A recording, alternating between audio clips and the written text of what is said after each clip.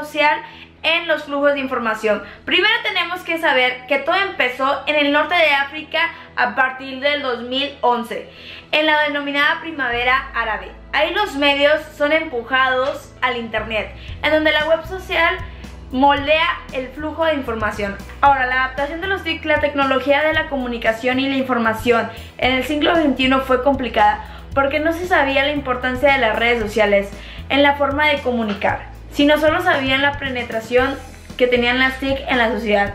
El número de usuarios de Internet en nivel global ha pasado de 400 millones a 3.200 millones en tan solo 15 años, del 2000 al 2015.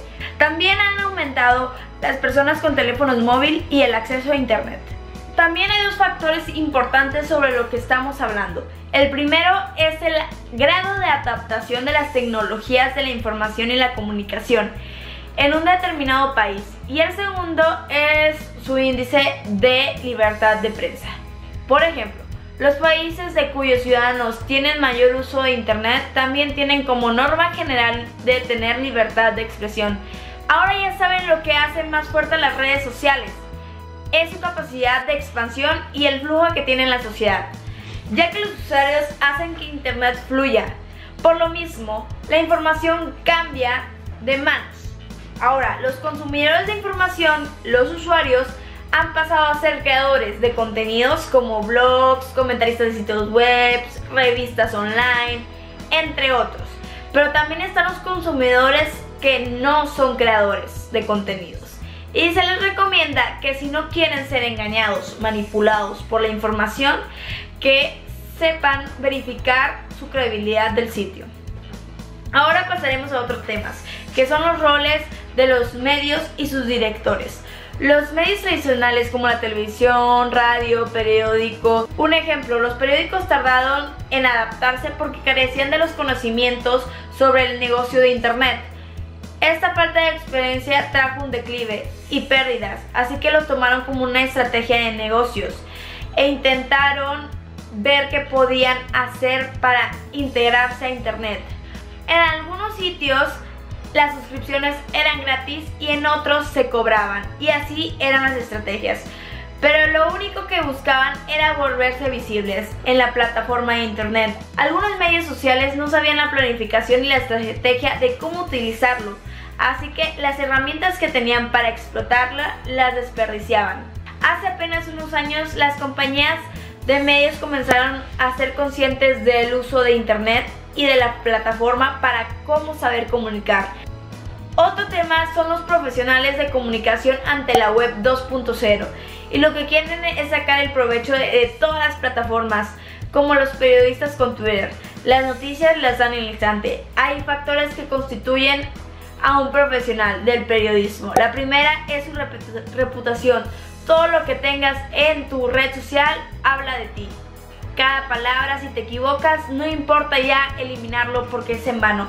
Ya un usuario pudo ver tu publicación. La segunda es la relación del periodista con su medio. La tercera es la relación del periodista con su audiencia. El siguiente tema es la exposición pública de las fuentes políticas. Las distintas fuentes pueden ser políticas, científicas, institucionales, académicas, entre otras. Twitter también es una herramienta base para desarrollar su marca y la comunicación en los medios, periodísticas y con su público final.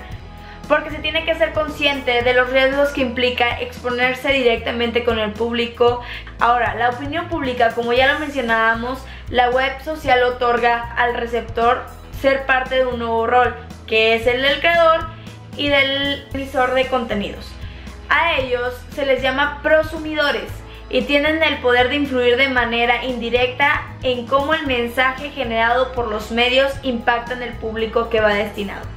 Y hay usuarios que son pasivos, que es el lector por sí solo. No puede considerarse como un líder de opinión, pero es importante para crear tendencia. Todos en algún momento de nuestra vida nos hemos preguntado, ¿dónde está el negocio de la web social? Fácil, es la publicidad.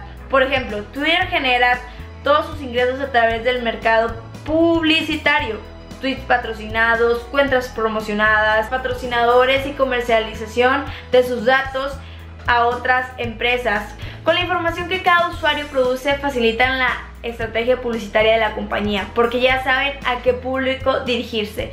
Ahora, ya sabes, cuando hay un servicio gratuito, tú eres el producto. Por último, ¿a quién pertenecen los contenidos? Simplemente a las empresas que tomaron la delantera y con Google la cabecera. Por eso hay que cuidar todo lo que compartimos de nuestra vida. No sabemos hasta dónde puede llegar la información. Espero que haya sido de utilidad la información que les proporcioné. Fue basado en una parte de la tesis doctoral de Internet, Comunicación y Sociedad de Red por Guillermo González Benito. Nos vemos hasta la próxima. Gracias.